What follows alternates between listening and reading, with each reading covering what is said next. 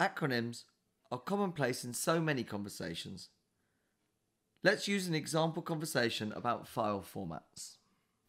WAV, FLAC, and MP4 formats are all accepted inputs to the Speechmatics ASR.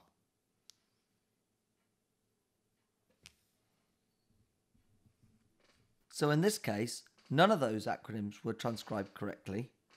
Let's try providing some context using the Speechmatics custom dictionary. But hold on, before we do that, not all these words are pronounced as you would expect.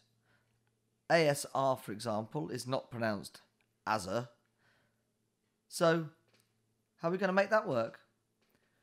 What if Speechmatics could solve these pronunciation issues too? The Speechmatics ASR can accept WAV, FLAC, and MP4.